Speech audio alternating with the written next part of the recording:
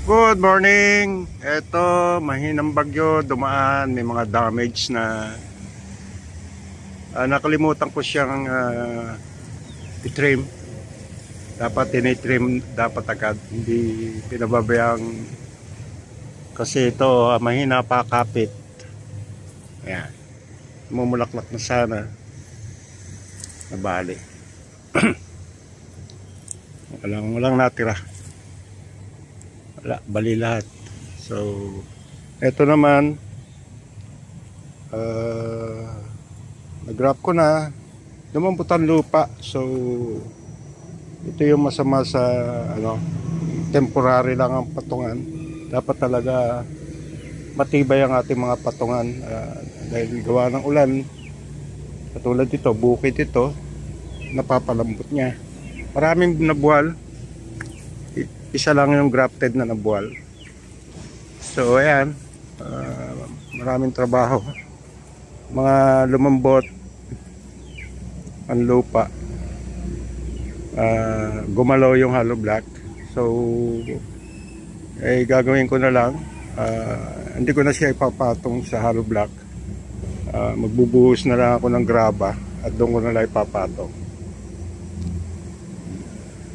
malambot. Tatlo itong, bali apat yung nabuwal. Uh, siguro babaguhin ko na rin lahat itong mga nakapatong. Uh, igagraba na lang. Na ganito. Malalaman mo yung mga mistake pagka may nangyari na. Anyway, ito katatanim lang ito. Uh, hindi pa sila affected yun lang isa. Uh, na, buhay na siya nag-grab ko na nga. Uh, nabuhay pa. And ito nga na uh, ano ng hangin. Wala magagawa. Uh, uulit tayo ng iba. Mag-uulit tayo magre-repair.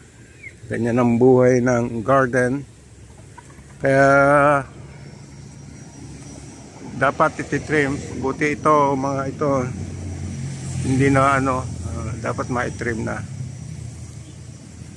Hindi hindi kasi ano, unexpected kasi yung bagyo, no. Uh, kalahin mo mas malakas ang buhos ng ulang kagabi. Anyway, ito itong nakabuhal, ayun na, okay lang, hindi siya nabuhal.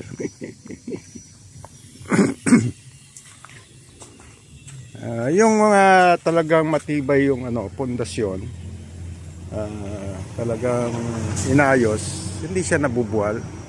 Uh, yun lang uh, yung talagang temporary lang na patungan yun ang nabuwal. Okay.